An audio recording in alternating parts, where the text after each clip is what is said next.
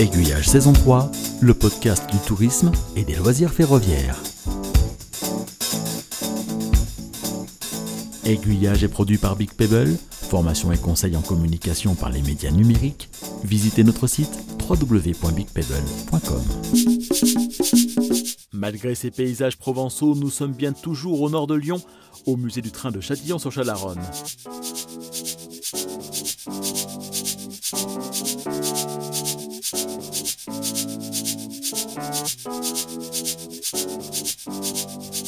réseau conçu et construit par Patrick Kroll s'articule en trois grands espaces. Grosso modo, on part des Alpes, on passe par Lyon. hein, et puis euh, donc euh, Lyon, le- l'environnement de Lyon, Lyon prend une grande, une grande partie. Enfin Lyon, je dis Lyon, c'est principalement par la gare des Brotteaux. hein. Après il y a beaucoup d'imaginaire.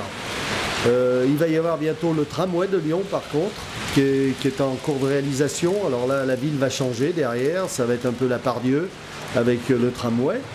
Et puis donc après on quitte Lyon, le Rhône, la Saône, euh, avec le restaurant du, célèbre de chez Bocuse. Et puis on va en Provence directement euh, avec le moulin d'Alphonse Daudet et puis euh, tout ce qu'on peut trouver euh, dans la Provence du Vaucluse. Et l'on y trouve notamment des mines et les carrières de Roussillon. Pour l'instant, il s'agit d'un diorama non animé auquel Patrick Kroll a bien l'intention de donner vie très prochainement.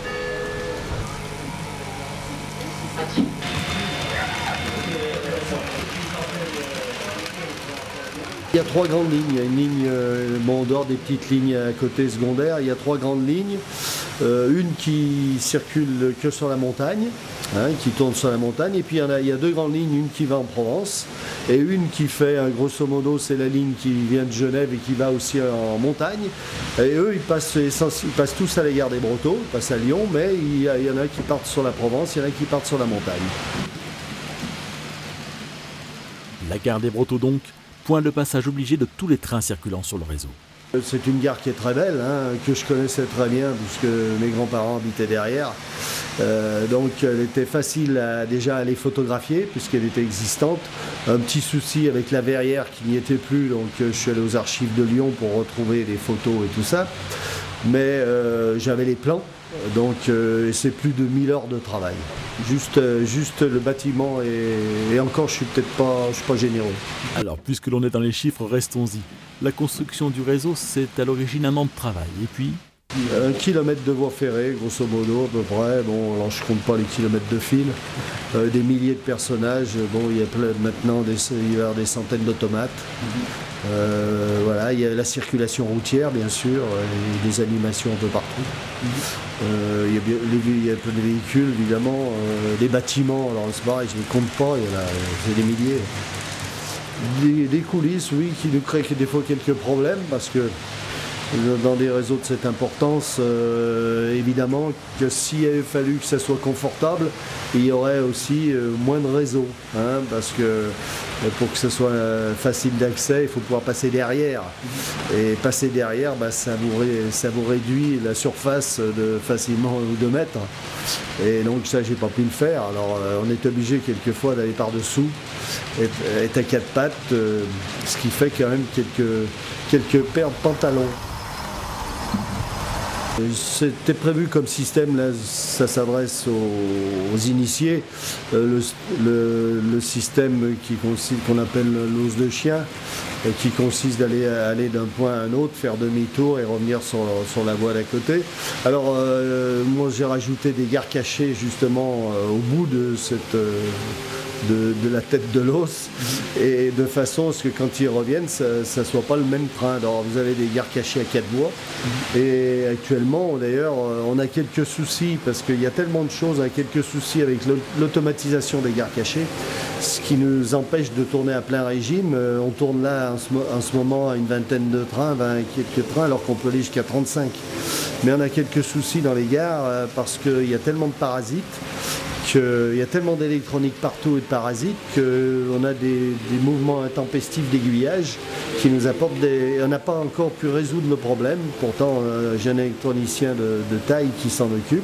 Il est en train de vérifier, de changer les cartes pour qu'on arrive à tourner plein régime un jour.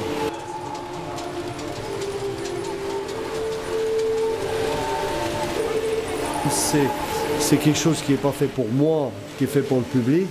Euh, moi, je me dois essentiellement euh, faire des choses relativement simples et qui tournent et que je puisse dépanner très rapidement s'il y a un problème et s'il y a du monde. Euh, le numérique, évidemment, c'est moderne, c'est bien, ça, offre des possibilités, mais aussi vous avez des, possibilités de panne supplémentaires et ça, j'en voulais pas trop. à partir du moment où vous avez des décodeurs avec des tas de fils dedans, il faut savoir que nous, les locomotives, on les démonte souvent parce qu'elles tournent beaucoup. Donc euh, bah, c'est vite fait de déconnecter un fil et puis après quand le train il s'arrête, on sait plus où c'est.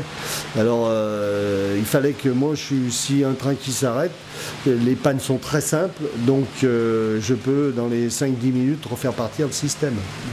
J'ai prévu des choses très simples. Euh, j'ai juste les, passages en gare que je peux manœuvrer, je peux bouger les aiguillages du, pupitre de commande. Si je veux, si un train qui me pose problème ou je veux garer dans, une gare quelque part. Autrement, bien sûr, tout, le reste est, très simple et c'est du cantonnement classique. Les trains se suivent comme à la SNCF. Euh, ils ne se rattrapent pas, donc ils se protègent entre eux, euh, ils vont d'un point à un autre, ils se garent, ils repartent. C'est un peu le, même principe que, que, la SNCF, et ils marchent tout seuls.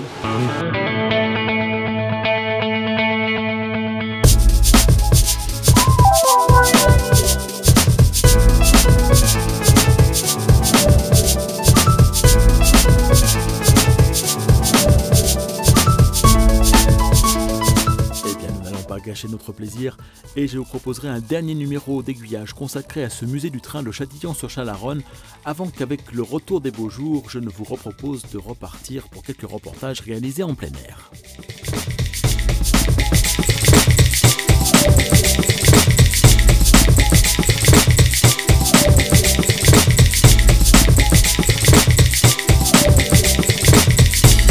Aiguillage se télécharge en podcast, se regarde sur le web www.aiguillage Retrouvez-nous également sur les médias sociaux, Flickr, Twitter et Facebook.